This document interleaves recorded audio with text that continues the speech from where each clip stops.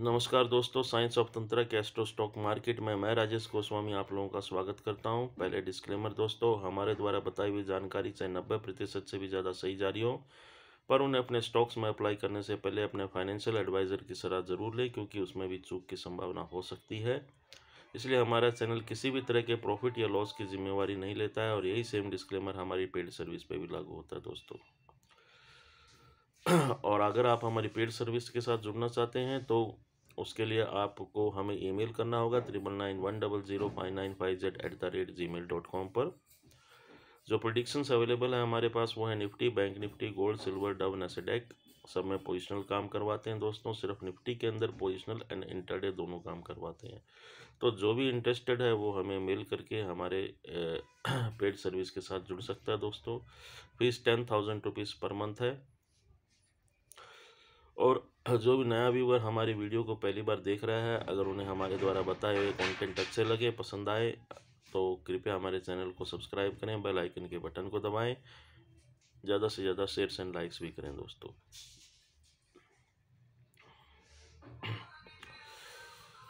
तो दोस्तों, आइए अब हम बात करते हैं कि सोमवार के दिन मार्केट में क्या रहने की संभावना है। तो जैसा कि मैंने अपने लाइव वीडियो पे भी आप लोगों को बताया था हम रात को तकरीबन साढ़े नौ बजे से दस बजे के आसपास लाइव आते हैं तो आप वहाँ पर भी हमारे साथ ज्वाइन हो सकते हैं दोस्तों।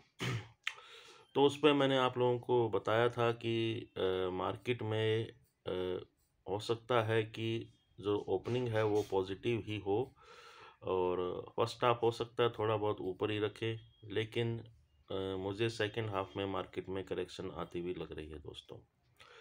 तो अगर आपकी होल्डिंग है नीचे की तो मैं यही राय दूँगा कि आप एक बार एग्ज़िट हो जाएँ, अपने प्रॉफिट्स को बुक करें।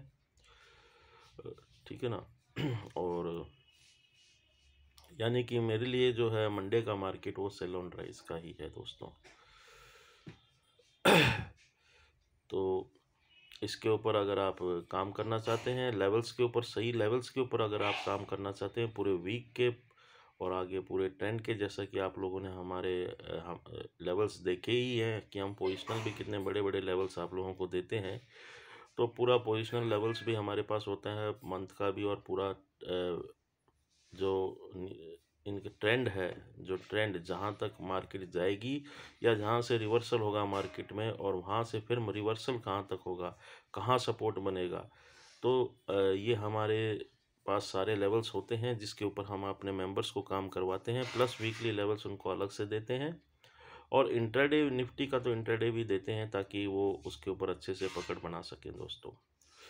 तो इसीलिए हमारे सभी मेंबर्स जो है तकरीबन सभी प्रॉफिट्स में ही रहते हैं दोस्तों। तो अगर आप भी अपने बढ़िया प्रॉफिट्स करना चाहते हैं और अपना बढ़िया क्वांटिटी में काम करते हैं तो आपको हमारे साथ ज़रूर जुड़ना चाहिए दोस्तों।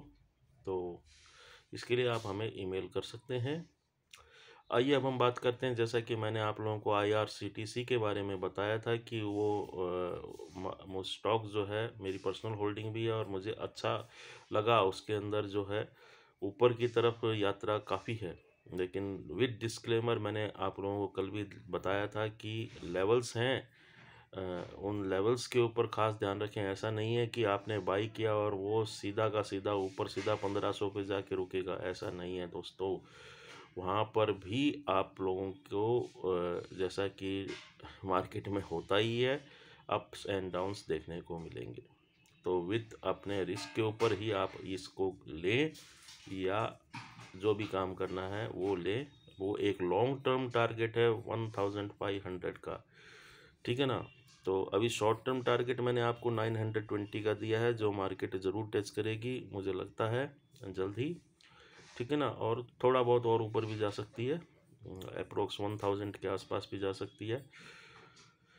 लेकिन जब मार्केट में वापस करेक्शन आएगा, जो कि मुझे उम्मीद है, करेक्शन आएगा दोबारा तो वो भी टूटेगा। ऐसा नहीं है कि वो नहीं टूटेगा, ठीक है ना?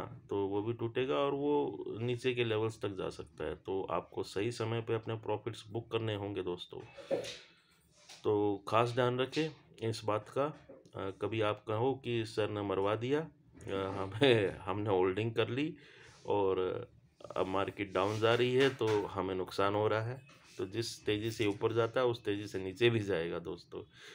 तो विथ आपका अपना रिस्क है, अगर आप सही हिसाब से अगर काम करना चाहते हैं कैश में तो आप उसकी भी सर्विस ले सकते हैं और उसकी भी fees ten thousand rupees per month है दोस्तों।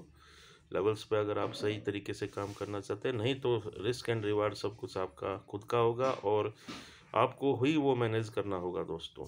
मैंने जो लेवल्स दिए हैं, वो लेवल्स टच करेगी मार्केट लेकिन बीच में हर्डल्स होते हैं हर लेवल्स के, ठीक है ना? ऐसा नहीं है कि स्टॉक एक तरफ़ भागना शुरू कर दिया, पागल हो गया। तो इस बात का खास ध्यान रखें और मैंने आप लोगों को कहा था कि 700 के नीचे मिले तो बाई करना, अब 700 के नीचे कहीं तक भी हो सकता है। तो ये खास ध्यान रखना दोस्तों। तो आ, ये मैं मुझे लगा कल मैंने वीडियो बना के दिया आप लोगों को तो मुझे ये एक पॉइंट लगा कि कहीं आ, क्योंकि सिर्फ़ कुछ लोग होते हैं कि सिर्फ़ व्यू के ऊपर ही होल्डिंग्स बना लेते हैं और बाद में जब व्यू में अगर कुछ गलत गया या मार्केट में करेक्शन आती है तो फिर वो लॉसेस में जाते हैं तो फिर वो गालियाँ बकते हैं। ठीक है ना? तो उस बात का खास ध्यान रखना। अगर आप सिर्फ़ व्यू के ऊपर काम कर रहे हैं तो सारा रिस्क एंड रिवार्ड आपका खुद का होगा। तो इसको खास ध्यान में रखते हुए ये बात मुझे याद आई, क्योंकि जैसा मैंने लाइव में बताया था, कुछ लोग ऐसा सिर्फ़ व्यू के ऊपर ही कर लेते हैं। तो ये एक डिस्क्लेमर है, जो आपको ध्यान में रखना है। और डिस्क्लेमर तो मैं हर वीडियो में देता ही हूँ। मेरे पेड सर्विस पे भी डिस्क्लेमर होता है। बेशक मेरी नाइन्टी परसेंट एक्यूरेसी है, लेकिन दस परसेंट चांस ज़रूर हैं कि हम भी गलत हो सकते हैं दोस्तों। हम कोई भगवान नहीं है, और इसलिए हंड्रेड परसेंट कभी भी कोई भी नहीं हो सकता। ठीक है ना? तो इस बात को ख़ास ध्यान में रखते हुए आप अपनी ट्रेडिंग ट्रेड करें, अपने होल्डिंग्स बनाएँ, जो भी है। और अगर सही लगे तो आप हमारे साथ जुड़ सकते हैं।